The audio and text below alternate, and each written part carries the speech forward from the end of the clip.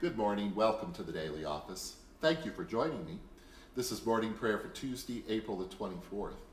It's year two, it's week three in Easter, and it's week two in the Psalm cycle. And the scripture for this service, Psalms 26 and 28, Matthew chapter 3, verse 7 through 12. And the concluding prayer is from Collects for the Easter season from the book Lesser Feasts and Fasts.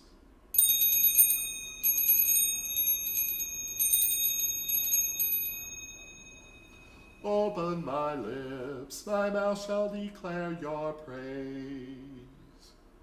Alleluia, give judgment for me, O God, for I walk the path of perfection. Alleluia. Psalms 26 and 28. Give judgment for me, O God, for I walk the path of perfection. I trust in you, I have not wavered.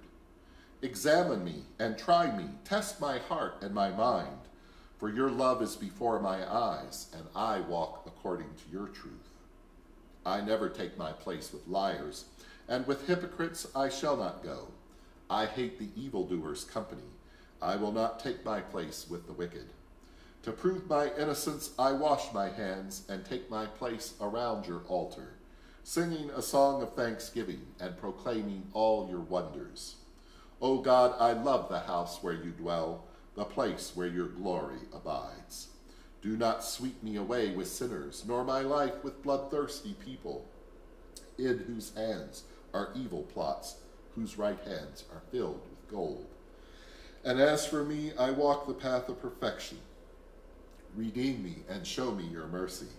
My foot stands on level ground. I will bless you in the assembly. To you, O God Most High, I call. My rock, hear me. If you do not heed, I shall become like those in the grave.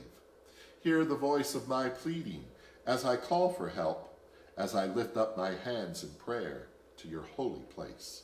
Do not drag me away with the wicked, with the evildoers who speak words of peace to their neighbors, but with evil in their hearts.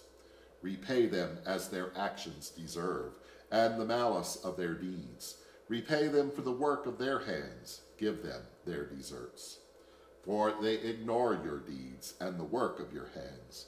May you ruin them and never rebuild them.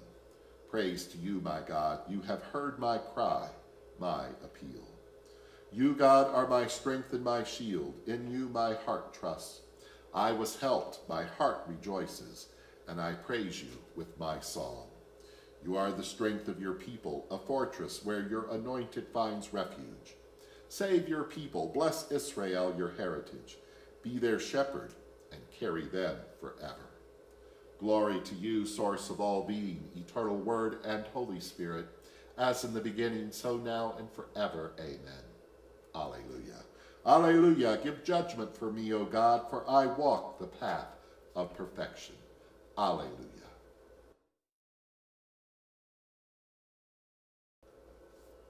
The lesson is from the Holy Gospel according to Matthew chapter 3, beginning at verse 7.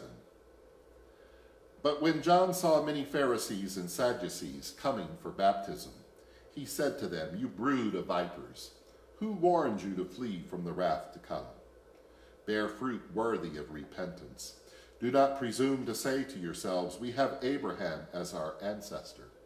For I tell you, God is able from these stones to raise up children to Abraham. Even now the axe is lying at the root of the trees. Every tree, therefore, that does not bear good fruit is cut down and thrown into the fire. I baptize you with water for repentance, but one who is more powerful than I is coming after me. I'm not worthy to carry his sandals. He will baptize you with the Holy Spirit and with fire, and his winnowing fork is in his hand, and he will clear his threshing floor and will gather his wheat unto the granary, but the chaff he will burn with unquenchable fire. Here ends the lesson.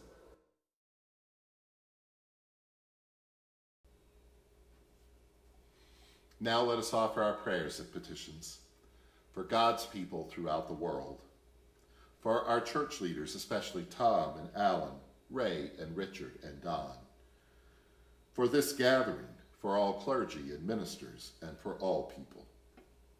For peace in Jerusalem and in all the world, for goodwill among the nations, and for the well being of all people, for justice and peace, for the poor and the sick, the hungry and the oppressed, for those in prison, especially Christian, and for those in any need or trouble, for the mercy of God community, and for all who seek God or a deeper knowledge of God, that they may find and be found.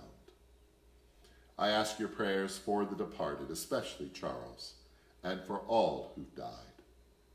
We praise God for those in every generation in whom Christ has been honored, that we have, may have grace to glorify Christ in our own day. For the unemployed, especially Robert and Carrie and Bill. For the aged and the infirm, especially Marjorie and Ronald Francis. That God who's begun this ministry may bring it to fulfillment.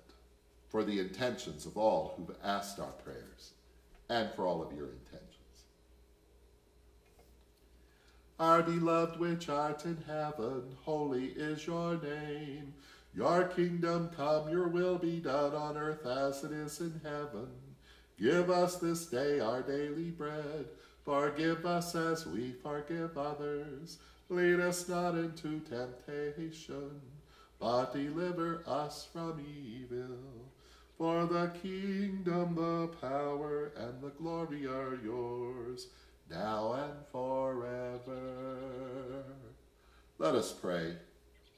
O God, by the abundance of your grace, you unfailingly increase the number of your children.